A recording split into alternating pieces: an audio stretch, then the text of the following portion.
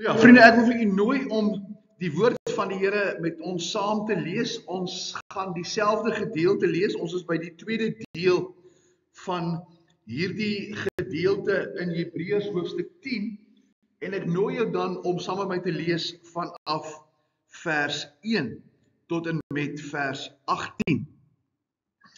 Vers 1 sê want die wet wat 'n skaduwee het van die toekomstige weldade nie die nie die beeld wat self van die dinge nie kan nooit deur dieselfde offers wat jaar vir jaar gedurig gebring word die wat toetree tot volmaaktheid lei nie.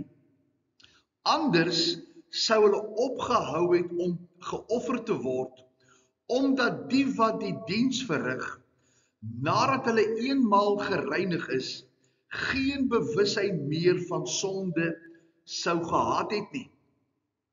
Maar in die offers is daar jaar na jaar 'n herinnering aan die sondes. Want die bloed van stiere en bokke kan onmoontlik die sonde wegneem. Daarom sê hy as hy in die wêreld inkom, slagoffer en spysoffer wou u nie hê nie, maar u het vir my 'n liggaam berei. Brandoffers en sondoffers het u nie behaag nie. Toe het ek gesê, kyk, ek kom in die boekrol is dit van my geskrywe om u wil te doen o God. Nadat hy hierbo gespreek het, slagoffer en spysoffer en brandoffers en sondoffers wou u nie hê en het u nie behaag nie wat volgens die wet geoffer word, het hy daarna gesê: "Kyk, ek kom om u wil te doen, o God." Hy neem die eerste weg om die tweede daar te stel.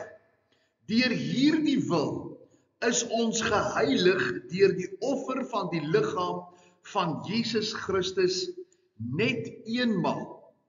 En elke priester staan wel dag vir dag om die diens waar te neem en dikwels dieselfde slagoffers te bring wat tog nooit die sondes kan wegneem nie. Maar hy het nadat hy een slagoffer vir die sondes gebring het vir altyd gaan sit aan die regterhand van God en wag nou verder totdat sy vyande gemaak is 'n voetbank van sy voete want deur een offer het hy vir altyd volmaak die wat geheilig word. En ook die Heilige Gees gee aan ons getuienis. Want nadat hy tevore gesê het dit is die verbond wat ek met julle sal sluit na die dae spreek die Here verder. Ek sal my wette gee in julle hart en hulle verstand en sal ek dit skrywe en aan hulle sondes en hulle ongeregtighede sal ek nooit meer dink nie. Waar daar nou vergifnis van hierdie dinge is, is daar geen offer meer vir die sonde nie. Ons gaan net tot daar lees uit die woord van die Here. Nou ons is by die tweede deel van Jesus 'n beter offer as die ou offerstelsel.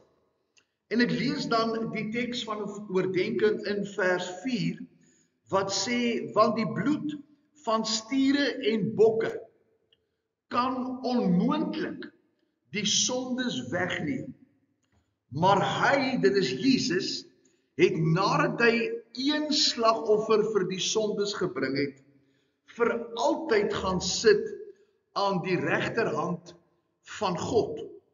U onthou dat ons sentrale tema van die boek steeds gaan oor beter dinge. En wil ons dan nou vanmôre ook kyk na Jesus wat 'n beter offer is. Nou verlede week het ons stil gestaan by die die mens en God se grootste nood. En God se grootste dryfveer is om gemeenskap met my en met jou te hê.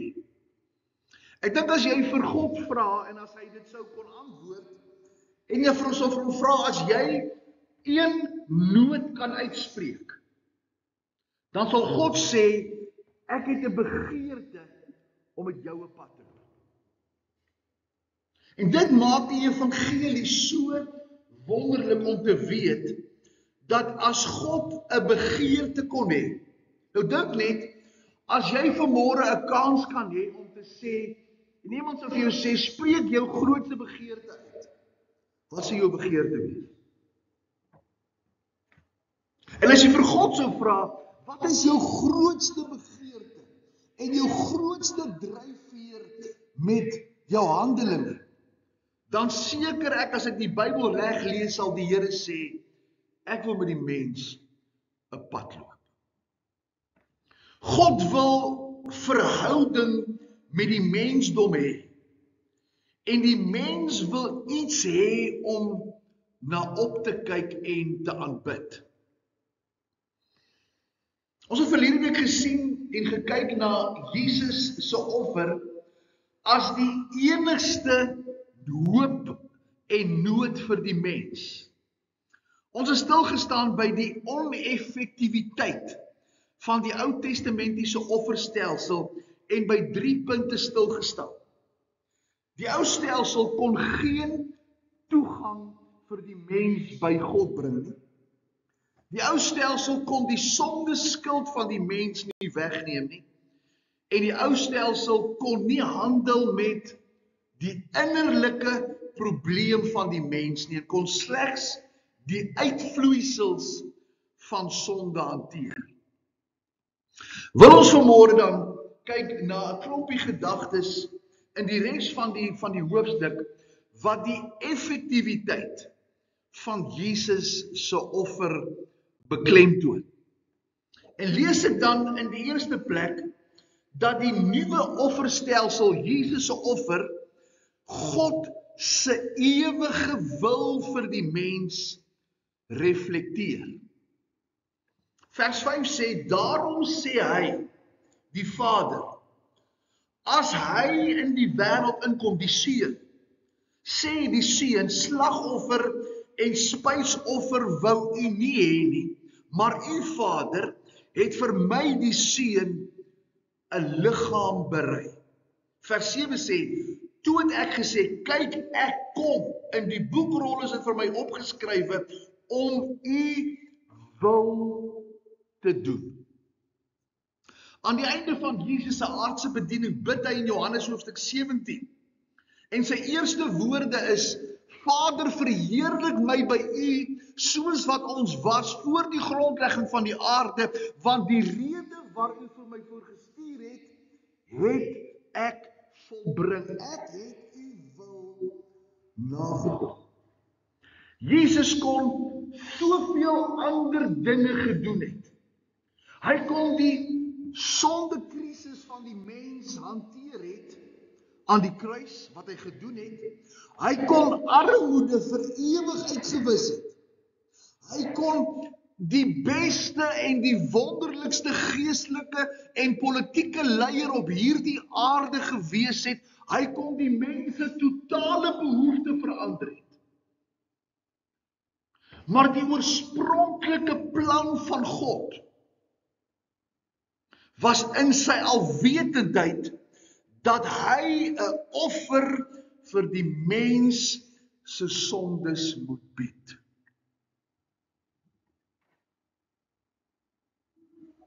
Die grootste wêreldkrisis. Die grootste ellende wat hierdie aarde kan tref, het nooit opgeweeg teen die begeerte om vir die mens se sondes 'n offer te wees. En daarom het hierdie die die nuwe offerstelsel van Jesus het vir die mens die ewige wil van die Vader bekend gemaak. Hy word gebore, soos ons daar gelees het, hy sê u het vir my 'n liggaam voorberei.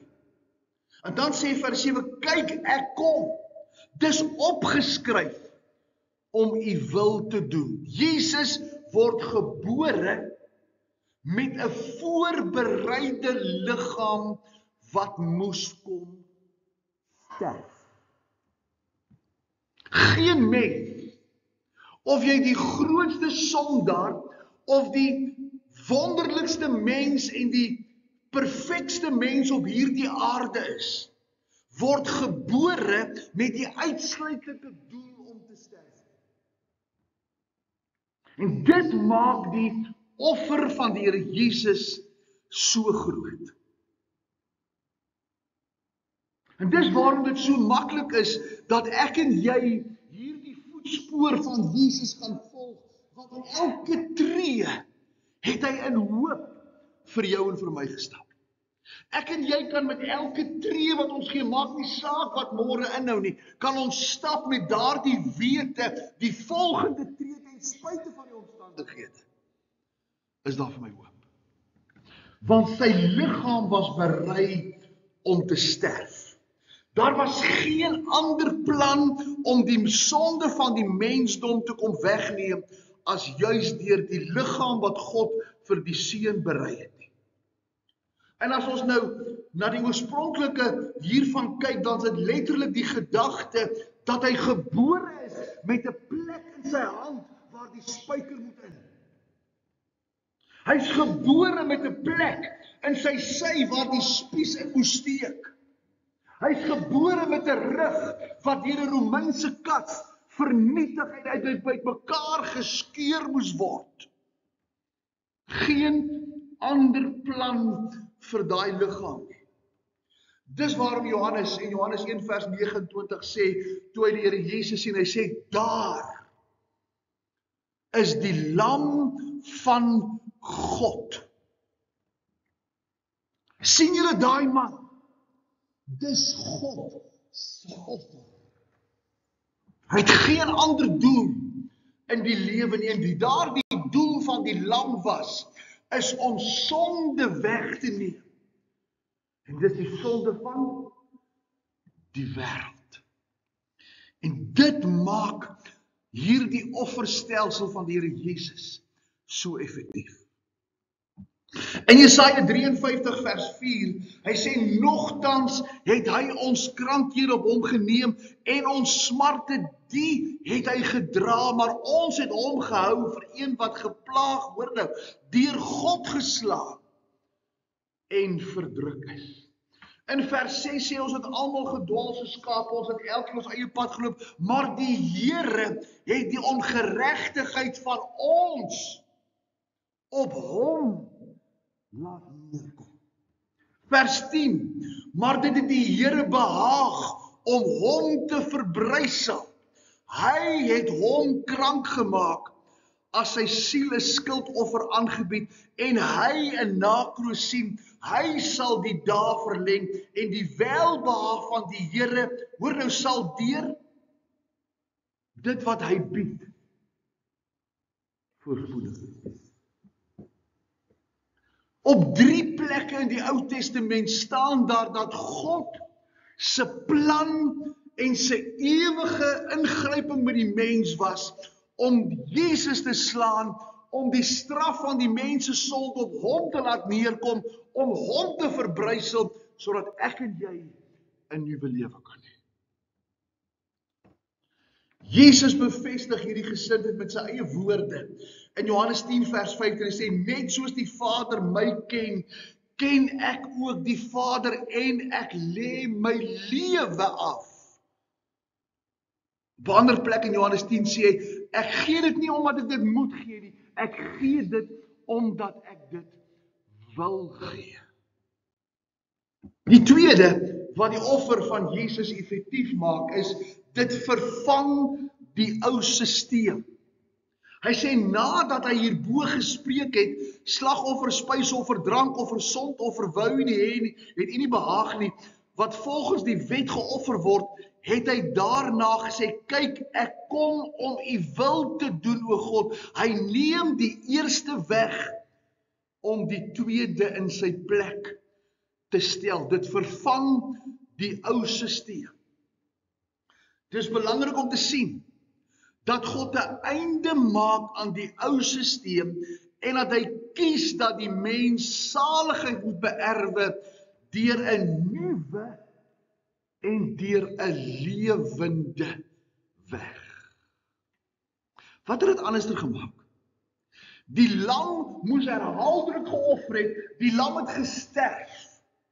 En daarom is dit gewees.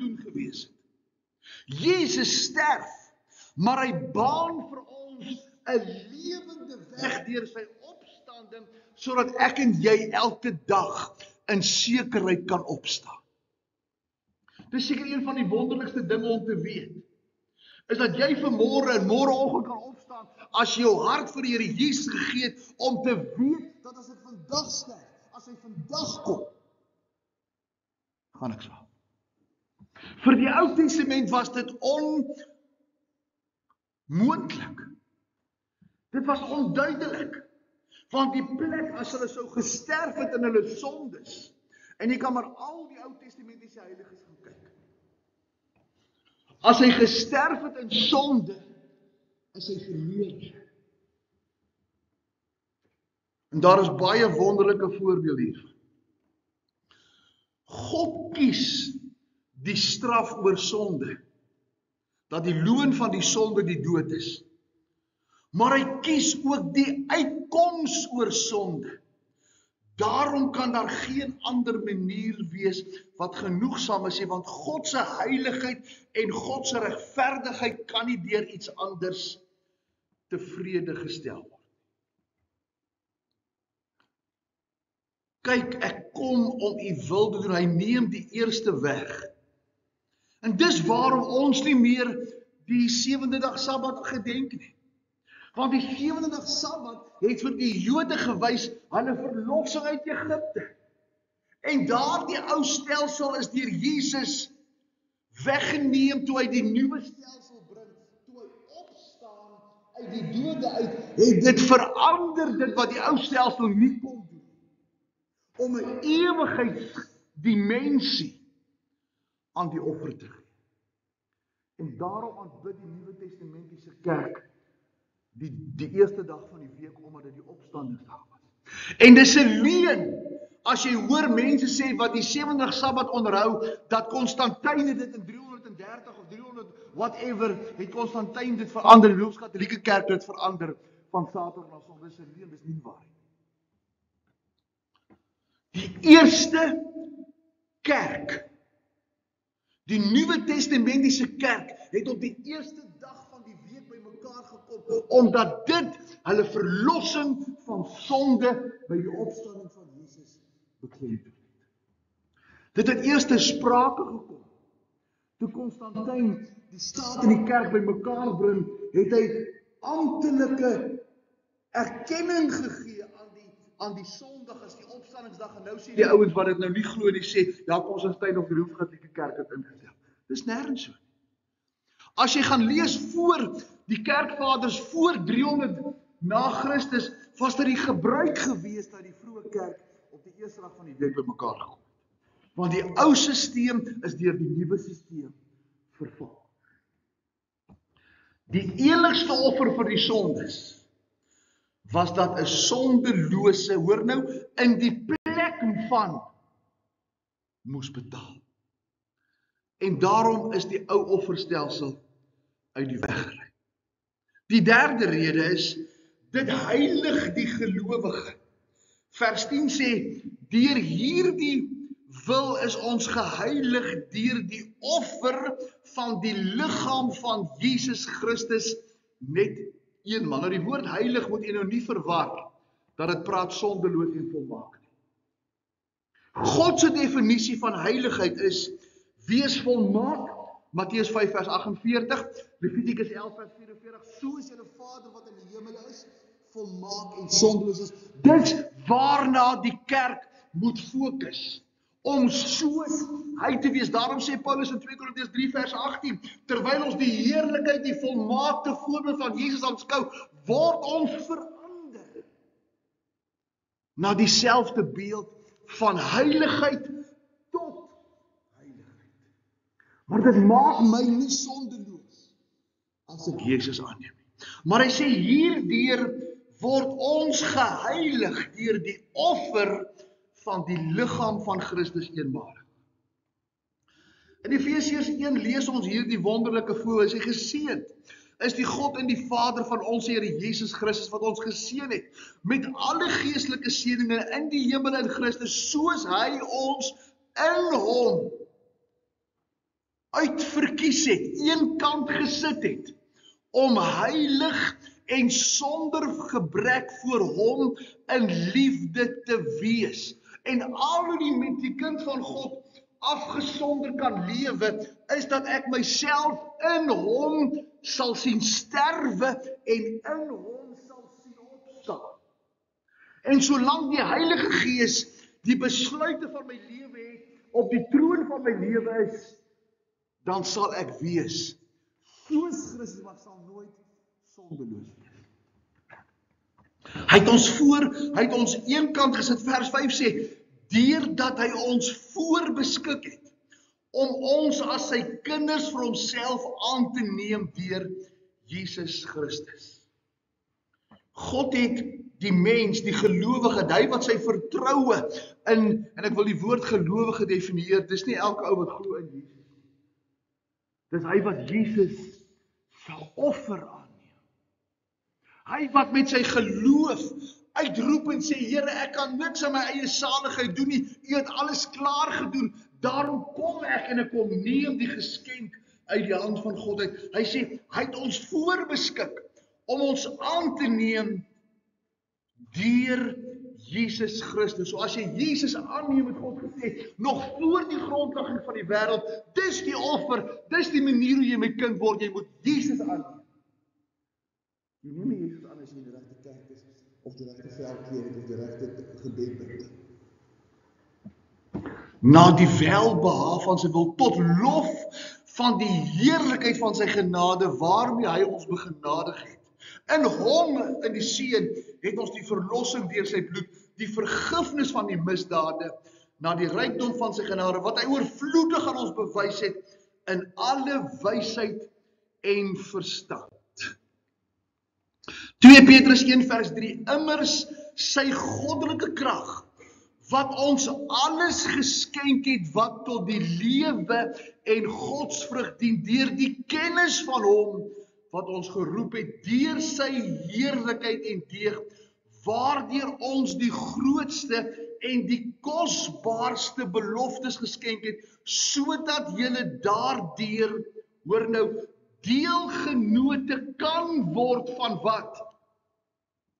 Van die goddelike natuur nadat jy So met ander woorde, eers moet jy die ver, die ver, die ver, die verdorwenheid ontvlug wat deur begeerlikheid in die wêreld is, dan ontvang jy die goddelike natuur. En juis daarom moet jy met alle met alle aanwending van ywer by julle geloof voeg. En dan gaan hy aan. Hy sê die deeg en die volharding en die sagmoedigheid en die selfbeheersing en al hierdie vrug van God en van die Heilige Gees omdat jy 'n kind van God is toe jy die verdorwing en die verdorwenheid van die wêreld en die begeerlikheid van die wêreld ontvlug het.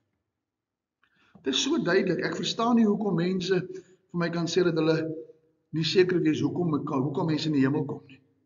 En jy kan seker weet dat as jy dit aanneem, jy hemel toe gaan. Kolossense 2 vers 9 en 10, want in hom woon al die volheid van die goddelik godheid liggaamlik en jy het die volheid in hom wat die hoof is van alle owerheid en mag. Die nuwe stelsel sit hom wat Jesus aanneem jou verlossing in hom plaas en aan hom gaan terugsit en in hom glo, gee hy die die reg om jou dat jy hom aan Vader noem. Hy noem jou sy kind en hy sit jou eenkant om anders te leef. Die Ou Testamentiese stelsel kon die volk nooit verander het om soos God te leef nie. Want dit moes elke keer herhaal word om net die uitvloeisel van hulle sonde te hanteer. Jesus kom en hy gee vir hulle innerlike oorwinning sodat hulle uiterlike lewe tot stand kan. 1 Tessalonisense 4 vers 3 want dit is die wil van God julle heiligmaking en dat julle moet ont julle moet onthou van en dan noem hy al die sondes en die ongeregtighede waarvan die kind van God afstand moet. Die vierde, die nuwe stelsel verwyder sonde. Elke priester staan wel dag vir dag om die diens waar te neem en dikwels dieselfde slagoffer te bring wat tog nooit die sondes kan wegneem, maar hy het nadat hy een slagoffer vir die sondes gebring het, vir altyd gaan sit aan die regterhand van God. Die ou stelsel kon net werk met die uitvloeisel ons het laasweek by stil gestaan. Die nuwe stelsel kan nie net die uitvloeisel van sonde hanteer nie, maar hanteer die innerlike probleem, my sondigheid en dit gee my 'n nuwe lewe om in 'n nuwe lewenswandel te gaan. Die pad van vergifnis het gegaan van 'n daaglikse offer na net een offer. Die teksvers hanteer 'n paar baie duidelike kontraste. Hy hanteer die dag vir dag diens teenoor die vir altyd gaan sit aan die regterkant. Die ou offer moes elke dag geskied. Die nuwe offer is afgehandel en God het af die seun dan Jesus het gaan sit. Die twee, die offer moes herhaal word en die dienswerk moes herhaal word. In die nuwe stelsel was dit 'n een eenmalige en gaan sit wat die afgehandeldheid. Nie net dat dit een keer gedoen is nie, maar dat die offer afgehandel is daarom moet hy gaan sit. Die derde is daar was verskillende priesters wat moes geoffer het. In die nuwe stelsel is dit een priester wat hom self offer. In die ou stelsel in die vierde plek kon die sonde skuld nie verwyder nie. Jesus doen dit vir eens en vir altyd. Sonde vergifnis gaan gepaard met 'n herstelde verhouding. In die Ou Testament kon hulle hulle verhoudings nie herstel nie wat die eerste stelsel nie kon doen nie. Vergifnis gaan verder met 'n veranderde lewe wat die eerste stelsel kon nou die uitvloeisel van sondes hanteer. Vergifnis spreek van toegang en 'n veranderde status. Die eerste een kon nooit die gelowige se posisie ten opsigte van die heiligheid en die regverdigheid voor God verander. sien jy wat bring hierdie nuwe stelsel? 'n herstelde verhouding, 'n veranderde lewe en toegang wat die ou stelsel nie kon bied nie.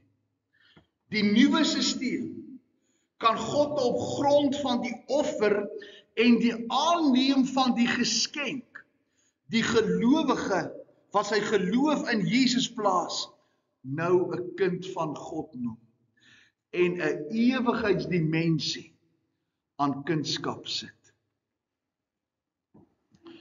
Ek is die Here so dankbaar dat Jesus gesterf het.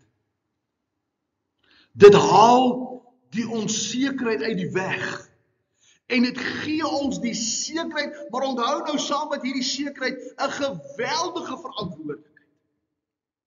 Want nou is ek nie die aangenome kind van God of ek is die een wat hom te probeer behaag of sy sy goeie boekies te aanvaar of sy sy sy sy gesig te laat draai. Hy klaar sy gesig gedraai toe Jesus hom kom sterf het. Hy klaar in Christus sy kop in my rigting ingebring en dit maak die verantwoordelikheid dat ek nou as 'n kind 'n hoër verwagting by my pa het. 'n Groter verantwoordelikheid van my, by my pa het. En ek 'n groter ek wil die woord straf gebruik, maar nie straf soos in hel toe gaan nie. 'n groter straf sal hê. Of 'n verloor van my van my van my seun sal hê. As ek nie soos my pa leef nie. Ek dink dis seker een van, ek weet nie van meisies nie, maar ek dink dis een van die grootste ehm um, die grootste begeertes van 'n seun om soos sy pa te wees. Dis seker een van die die dinge wat 'n seun die meeste doen en dis hoekom dit so belangrik is dat ons aardse paas, ek en jy wat pa is, so leef dat my kind 'n begeerte sal hê om te maak soos pa. Ek onthou toe ek nog 'n ou klein seentjie was, het my pa nog rugby gespeel. Ek het net onthou was nog so net so in die laerskool. Graad ons was nog so op A en se B. Dan het hulle op en af daar in Virginia op die veld gehardloop wanneer die seisoen begin. En my pa het so 'n manier gehad om met sy met sy duime so reg op te hardloop as hy gedraf het. En ek het gedog dis 'n mens hol. Ek het verlang so gehardloop. En ek het want dis hoe pa, dis hoe dis hoe mense hardloop, pa hardloop so. En onthou toe hy in die studeerkamer gesit het voordat hy hart vir die Here gegee het en hy daar gesit en gestudeer het en uh, hy uh, die die papiere gevat het en die sigaret aangesteek het. Ek gedink as ek in die skool is, dis hoe ek moet leer. Want dis hoe pa geleer het. En die en die geweldige begeerte wat daar was om soos my pa te wees. En die teleurstelling as ek soos hy is en dit nie raak sien. In die nuwe stelsel het dit vir my moontlik gemaak. Johannes 10 vers 28 sê ek gee julle die ewige lewe en julle sal nooit verlore tot gaan tot die ewigheid nie en niemand sal julle uit my hand uitruk nie. Die vyfde is dat die nuwe stelsel vernietig God se vyand. Hy sê hy het hierdie offer gebring en hy sit aan die regterhand van die Vader en hy wag nou verder totdat sy vyande gemaak is 'n voetbank van sy voete. Dit sal eendag met sy koms ten volle verwesenlik word. Maar weet jy wat ek en jy kan vandag deur ja te sê vir Jesus hierdie belofte vervul dat die Satan en die houvas van sonde en die mag van sy vyand in my lewe gebreek word. En ek sy vyand deur Jesus aan te neem, sy vyand kom offer dat dit onder sy voete kan vertrap word. Die ou stelsel kon niks doen van Satan en sy invloed om daarvan ontslae te raak in die in hulle lewens nie. Met die kruisdood het Jesus hierdie finale slag toegedien. Hebreërs 2 vers 14 sê: Aangesien die kinders dan vlees en bloed deelagtig is, het hy dit ook op dieselfde manier deelagtig geword sodat hy deur die dood hom tot nik kon maak wat mag het oor die dood dis die duiwel en almal kon bevry wat hulle hele lewe lank uit vrees vir die dood aan slawerny onderworpe was by sy eerste koms toe kom trap hy die kop van die satan in die grond en hy bring vir ons oorwinning En wanneer hy eendag gaan kom, gaan jy nou sien, gaan elke knie voor hom buig en elke tong gaan bely dat hy Jesus Christus is. Ek en jy kan dit vandag in ons lewens se werklikheid. Kolossense 2 vers 14 en 15 en die skuldbrief teen ons wat met sy insettinge ons vyandig was uitgedelg en weggeruim het deur dit aan die kruis vas te naal nadat hy die owerhede en die magte uitgeklee en hulle in die openbaar tentoongestel het en daardeur oor hulle getriomfeer het. Daar was twee vlakke van oorwinning van Jesus aan die kruis. Die eerste, hy het die vyand onder sy voete vertrap. En die tweede is hy het hulle ontwapen en hulle geparadeer as gevangenes deur die hemel. As jy gaan lees in Petrus staan daar, toe Jesus gaan sterf het, het hy in die doderyk neergedaal en hom gaan proklameer aan almal in die Ou Testament wat op daardie stadium Jesus aangeneem het en Jesus verwerp het. Het hy toe hy gesterf het in die doderyk ingegaan sê Petrus en homself gaan proklameer. En het die vyande saam met hom gaan paradeer vir hulle gewys ek is die oorwinning. Ek is die Christus. Ek is die Messias waarvan die Ou Testament gepraat het. Filippense 2 vers 9.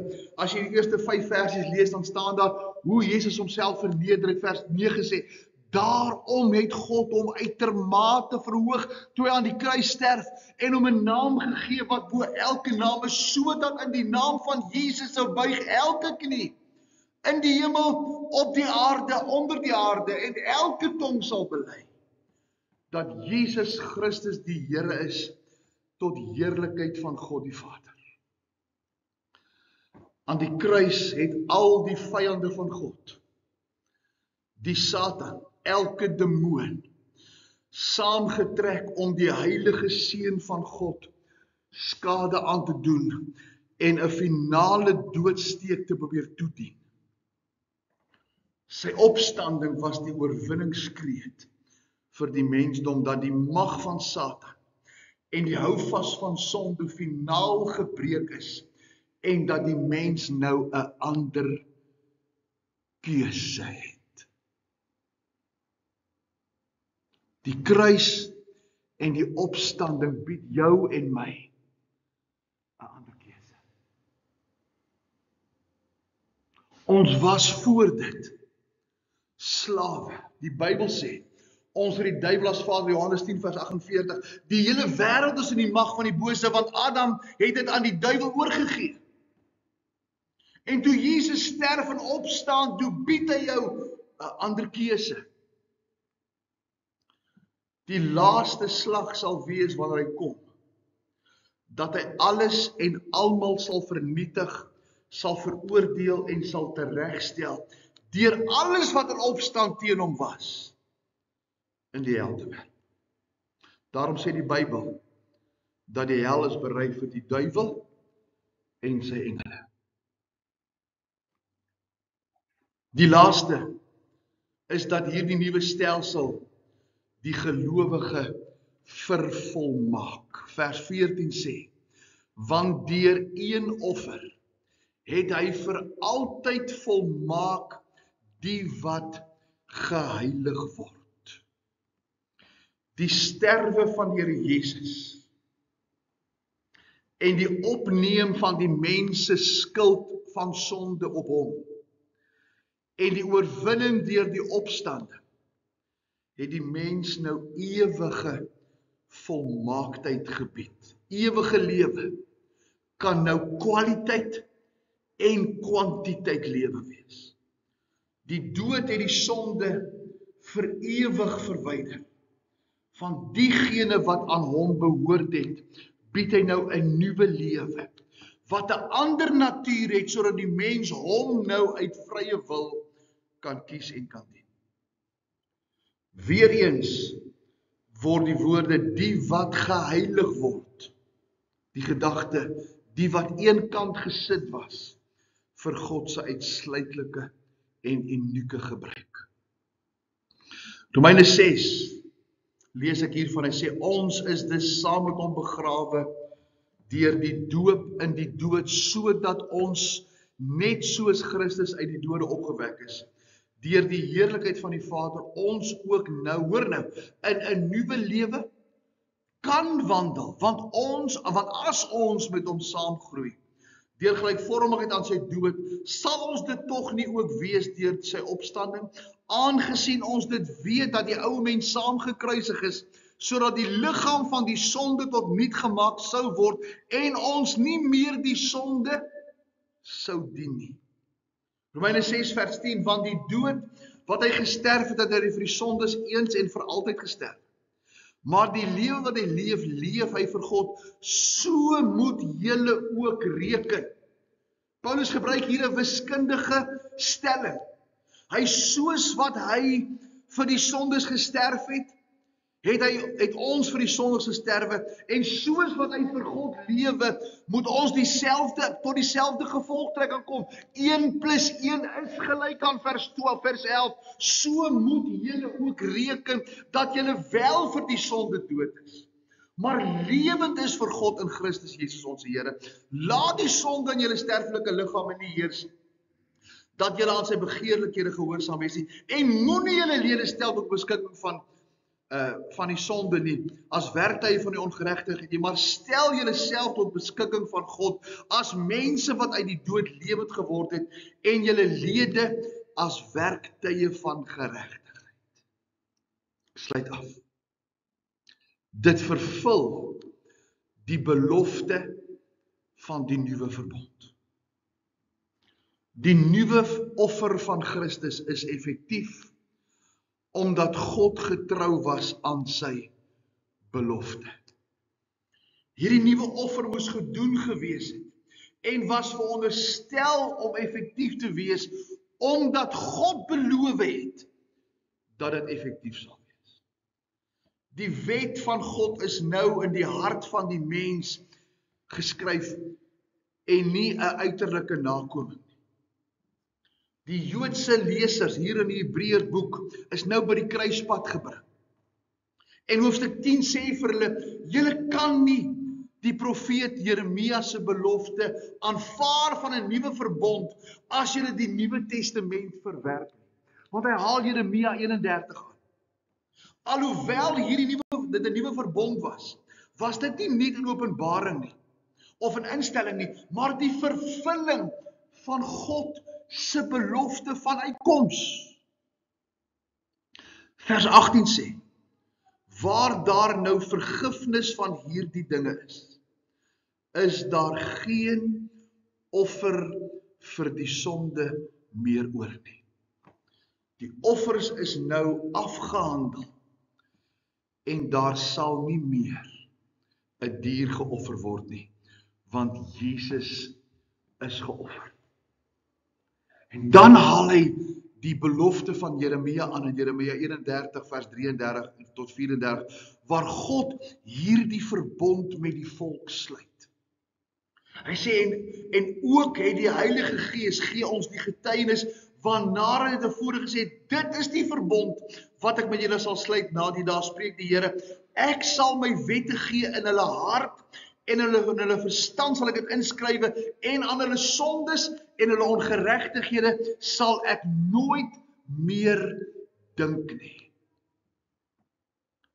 Hier word die Nuwe Testament se Heilige Gees nou as 'n getuie geroep wat die profeet se uitroep kom sekondeer. Dat die nuwe verbond God se voorneme vir die volk is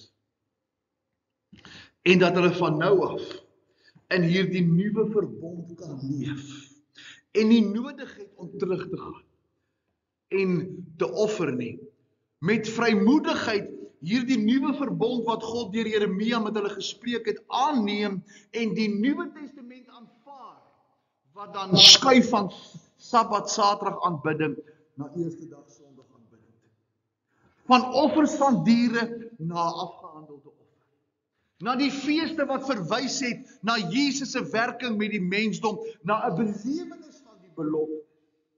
En so die Nuwe Testament dan vir hulle Want die Nuwe Testament word die belofte van dit wat hy in die Ou Testament vir hulle as tekens en deur prentjies gegee is. En daarom wil die Here vanmôre jou aanmoedig. En daarom is dit God se begeerte. Soos wat hy begin gesê het. Sê vir die Here sou vra, Here, wat is u begeerte vir my? En ek wil jou gaan uitdaag vanmôre om hierdie dag gebruik te maak om vir die Here te vra, Here, wat is u begeerte vir my? Here, ek wil nie vanmôre vir u vra, gee vir my dit en gee vir my dat en hoekom so en waarom so en waarheen is ek op pad met my met my aardse lewe? Die Here, wat is u begeerte vir my?